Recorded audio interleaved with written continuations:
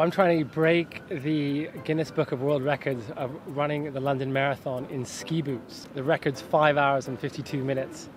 And, uh, and I had a look at that and thought, yeah, I can do that. And I'm raising money for the British Paralympic Association. I think they're amazing athletes. They've got the resolve just to get on and do it. So if I can help raise money and awareness for, for their amazing resolve, then I'm just going to have a fraction of what, what they go through as as a living, really.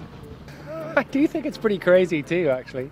I, uh, I'm a hip fracture specialist, and I've actually treated people with hip fractures running the London Marathon.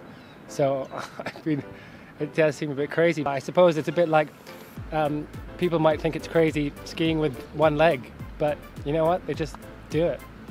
Sometimes I get looks, but sometimes I don't. I think there's just lots of weird stuff around in London, and they, it's just another weird thing.